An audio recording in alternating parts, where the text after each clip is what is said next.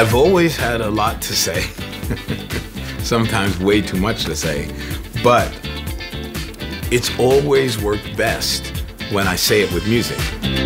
So, so when I thought about where I was at at this point in my life, um, all I kept thinking about was time, time, time. I wasn't considering making a chic album ever again. There was no reason spiritually or artistically to do so. What happened was one day, and I remember it well, it was June 20th, 2010, a huge box of tapes show up at my house. There were cassettes, there were sessions of music, but either the songs weren't good enough or it was just one too many song for that particular Chic album at that point in time. When I played the tapes and I could hear us talking between the songs, it was like I had gone back in time and I realized that everybody on those tapes had passed away. It wasn't like I could call them up and say, Whoa, listen to this, check this out. So now I have a box of tapes, analog tapes, which sound fabulous, that are unfinished. And I now have a chance to be with my buddies and finish this stuff.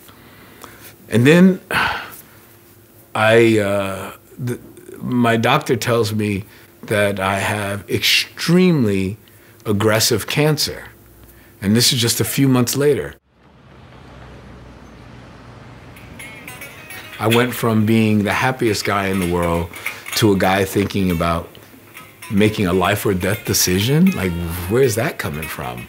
And at that point, I decided I was going to do more music than I've ever done in my life and play more concerts than I've ever done in my life.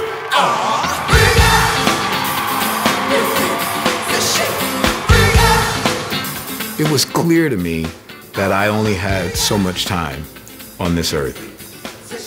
And I wanted time to be represented in an artistic, conceptual way.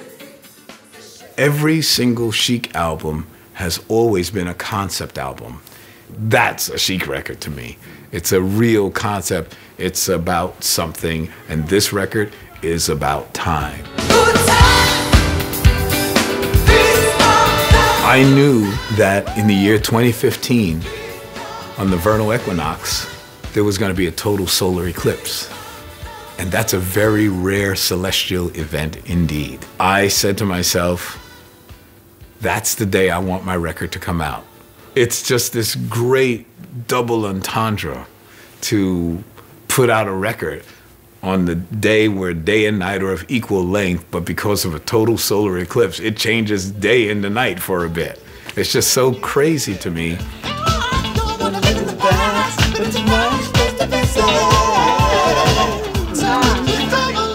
First single, there's a lyric that says, I don't want to live in the past, but it's a nice place to visit.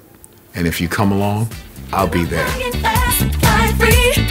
When that lyric comes up in the song, it means so much to me.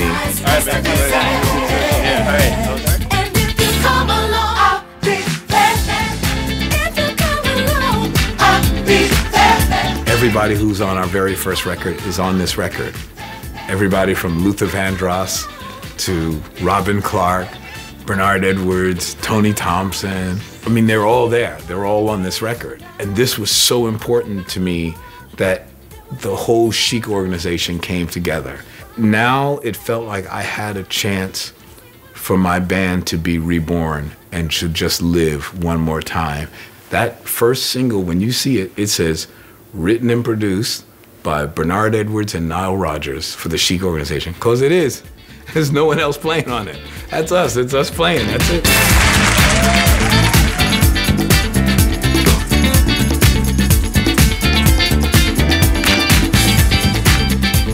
It's almost like a time capsule. It's like you broke open a time capsule and you got a record that never came out. It's, it's, it's exciting for me. I mean, it's, it's, it's all about time.